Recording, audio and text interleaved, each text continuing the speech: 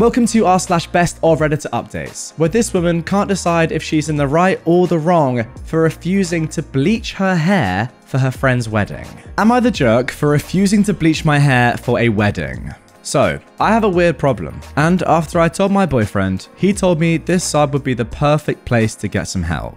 So I, a 25 year old woman, am meant to be in the bridal party of my friend Zoe's wedding in December 2024.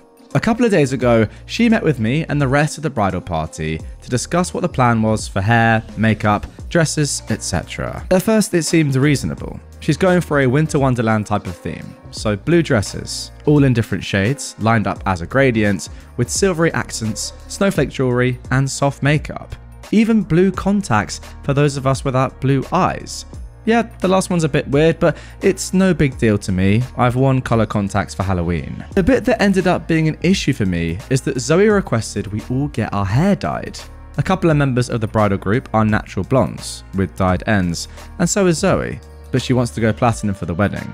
But the rest of us are two brunettes, a strawberry blonde, she wasn't blonde enough, and a redhead. I'm one of the brunettes, and I'm the only one in the group who has never dyed or bleached their hair.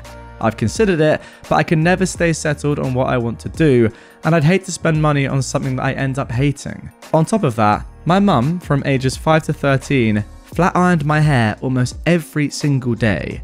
It really damaged my hair. I'm almost certain it's resulted in my hair being thinner than it used to be. I know that bleaching can also damage your hair, and I don't feel comfortable taking that risk yet. I told Zoe I wouldn't be able to dye my hair, she insisted it would be fine, as my hair seemed quite healthy, and she would be paying for the bleaching treatments for all of us. I again said no. Thanks so much, but I can't. I asked if I could just wear a wig, and she said no, that wigs are cheap and unnatural, and she wants us to have our real hair bleached instead of some cheap imitation for the day. After more back and forth, she told me I should go home and think about the fact that I'm ruining her vision and that I'd be ruining the photos and wedding video that she and her fiance will be putting together for his grandparents to view since they won't be able to fly in from Argentina. I apologized, paid for my meal, and left. I really don't want to dye my hair, but I also don't want to ruin Zoe's picture perfect day.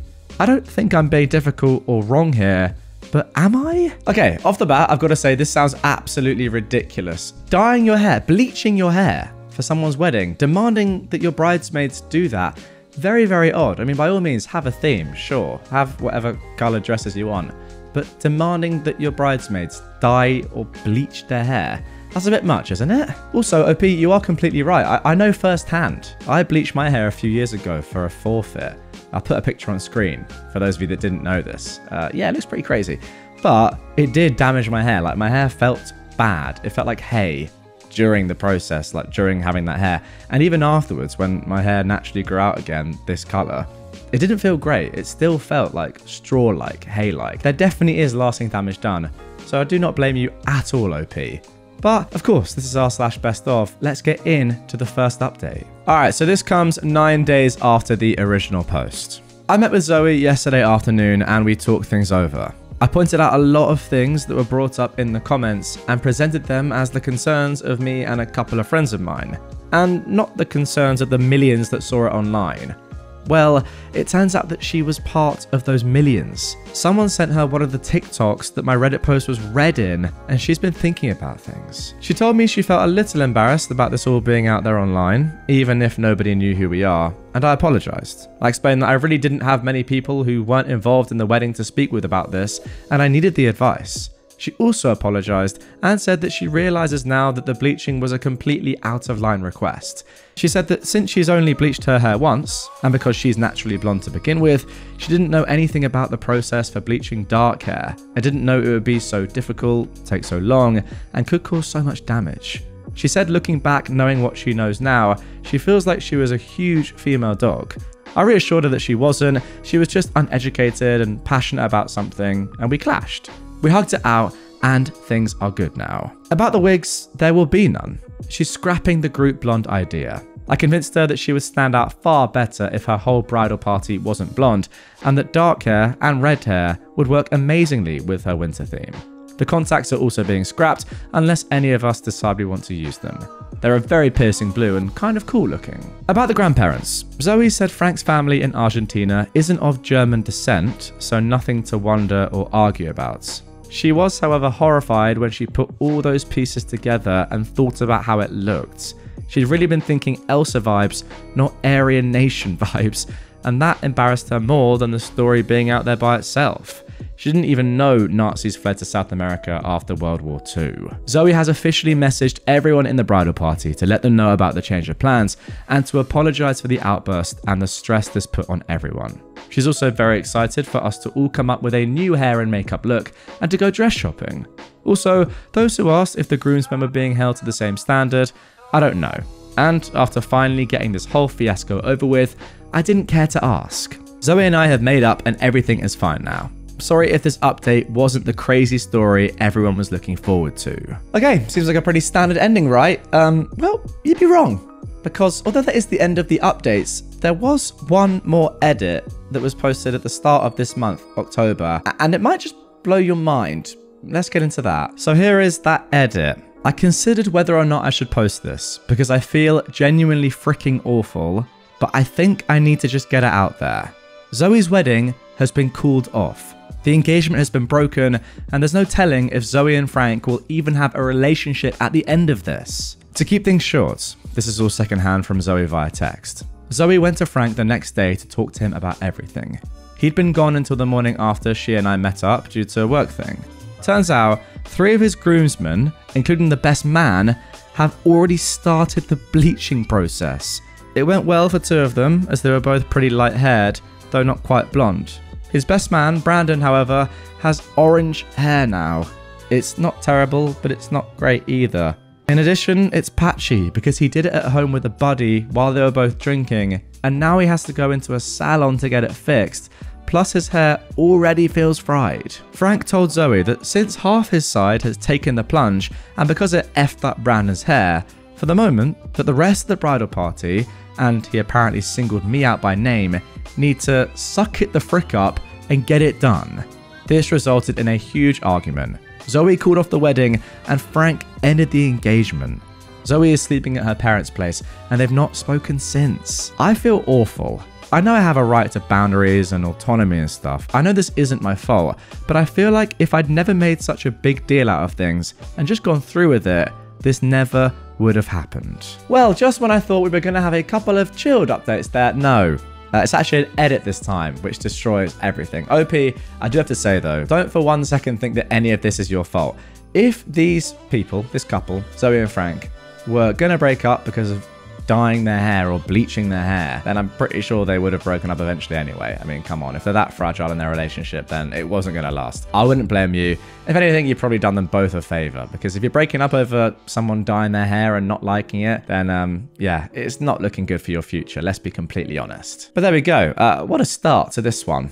Let's get into our second best of post. My boyfriend of 8 years told me he wanted to open our relationship. I am a 28 year old woman, and I met my boyfriend, who is 29, many years ago through some friends. He was living in another place on the other side of the country. We instantly took a liking to each other and became boyfriend and girlfriend. In the first year of our relationship, it was distance both agreed that after I finished my schooling, I would go and live with him. I had to leave behind everything friends and family, a perfect job offering with an amazing salary with this company that I'd interned in in previous years, which I loved by the way, but I thought that he was worth it. So I moved to where he lives and everything was good. We talked about our future, both agreed we get married at 30. We focused on our jobs and ourselves. We fought, but could never be mad at each other for longer than a few hours. We bought a house together with a nice yard the perfect home for our future together. Last night, while we were eating dinner, my boyfriend told me he wanted to talk about something. I said, alright, and we proceeded into the conversation. He started off by saying that he loved me and that I'm perfect to him. I thought he was going to propose to me. Instead, he told me that he is polyamorous, that he just realized that, and that he wanted to open our relationship. I asked if I did anything wrong for him wanting to open the relationship, wondering if I didn't satisfy him enough emotionally and sexually. He said no, and that it's just who he is. I told him that I only believed in monogamy. I can't personally see myself with anyone but him. He told me that I was being ignorant when I told him I only wanted him. I backtracked into what I was saying and asked him if he'd already thought of another woman that he wants instead of me. He tried to deny it, but he said there was a woman that he'd met, that she's also poly, that they never did anything and that I shouldn't worry about it. But I couldn't believe it. I didn't know what to say, so I finished dinner in silence. That night, I chose to sleep in the guest room.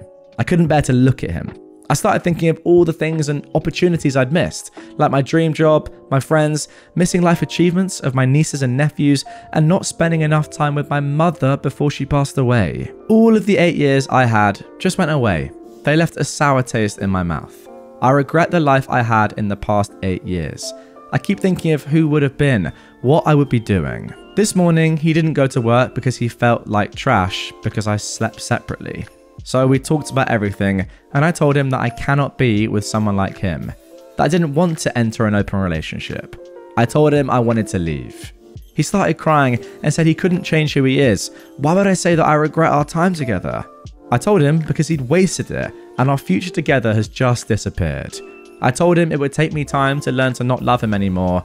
I thanked him for the past eight years together. He said he takes it all back and that he'll stop talking to the other girl, that he doesn't want our relationship to end, but I can't do that to someone I love. I cannot hold someone back from becoming who they are.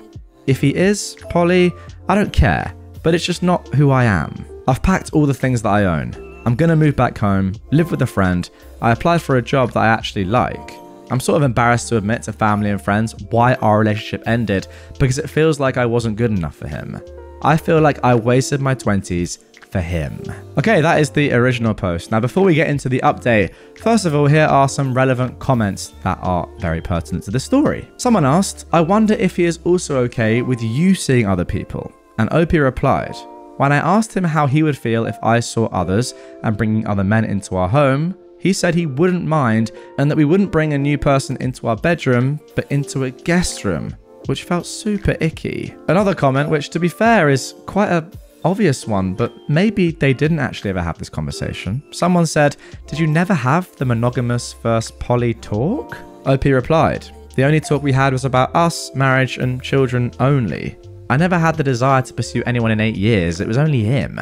I know what poly is, I understand it, but it's not for me. Yeah, you know what? I kind of agree with that. I think it's a pretty niche thing to be polyamorous. The majority of people aren't polyamorous. So, surely, if you're talking about children, marriage, the future with just you two, yeah, it makes sense that you wouldn't outright ask that question. It's kind of implied, monogamy in general, right? So then let's get on to the update. This was posted a month later, the beginning of this month again, October the 1st. I thought I'd give an update of what happened. It's been well over a month since my ex boyfriend wanted to open our relationship. I've moved away and now I have my own place. My new job is much better than my last one. Everything's been good for me, spending a lot of time with family. When we told our mutual friends and our families why we ended our relationship, they thought it was a trashy situation and they just joined my side. About the house that I've recently purchased with my ex, we decided to put it up for sale and split everything evenly. I haven't talked to him since we broke up, but I've heard that he started dating the girl he told me about, which I knew was coming, so I wasn't really surprised. I'm not really in the mood for dating at the moment. I'll probably take more time for myself. In the end, I'm happy. I've learned a lot and everything has been good. You know, sometimes I wonder with these stories, right? How how can you be with someone for 8 years and then suddenly out of nowhere they just do this, they just spring this surprise on you. Surely after 8 years of being with someone, you you must be able to feel as if you really know them. Yeah, how can you if they end up doing something like this? It's insane to me. I also do think, or kind of worry slash wonder, whether this guy is even polyamorous at all, or he just used it as an excuse because he was emotionally cheating on you with this woman, kind of proven by the fact, well, at least the fact that he was emotionally cheating on you, that very soon after you guys break up, after you leave, he's dating the woman. I mean, normally after an eight year relationship, you'd have a little bit of time off, right? They say that it takes half the length of a relationship to get over that relationship. But no, he's straight back on the horse. I think that shows his true intentions. Also, I need to just kind of remind myself here. He called her ignorant because she identified as monogamous and wasn't happy that he was poly. What? That's the sort of bloke that we're dealing with here. Really. So in that case, yeah, I kind of understand why OP is saying at the end that she is happy because you were never really going to be happy with that bloke long term if if you stay with him for sure. And at least now you know and you can move on with your life. Yeah, it's tough. I wouldn't see it as wasting your 20s or those eight years, but it's crazy. Out of nowhere, yeah, I get it. It does feel like those eight years, or at least that eight year relationship, was for nothing. Anyway, guys, that is going to do it for this one. Um, let me know if you're poly down in the comments below. Hit me up on Instagram. It's on screen right now. You think I'm joking? I'm not. Uh, I may be joking, but in all seriousness, I enjoyed these stories. They were good. And uh, yeah, if you are poly and you're in a relationship with someone and they don't know about that, moral of the story is probably tell them sooner rather than later. Or if you're not poly and you're using it to lie about an affair you're having, yeah, crack on.